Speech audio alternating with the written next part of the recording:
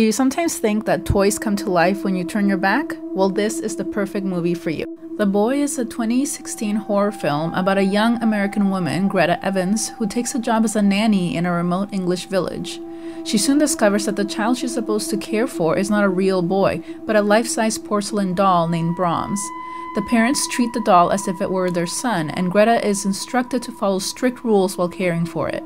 However, as she disobeys the rules, strange and unsettling events begin to occur, leading her to question the supernatural nature of the doll and the dark secrets of the household. Follow for more.